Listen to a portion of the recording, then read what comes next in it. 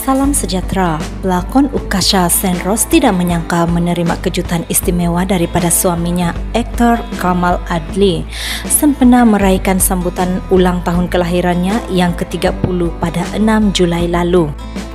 Mengenali suami saya, dia bukan begitu. Maksud saya jenis yang nak deko.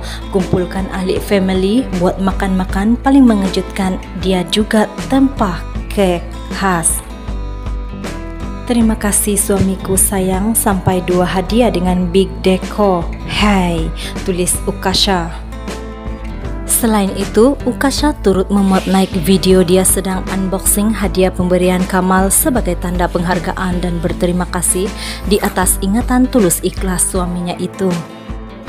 Not to show off, tapi saya sangat menghargai pemberian suami.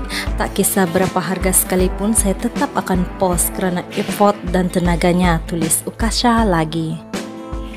Kedua-dua hadiah yang diberikan Kamal itu dianggarkan mencecah harga lebih RM11,000 menerusi pemerhatian di laman web jenama mewah tersebut.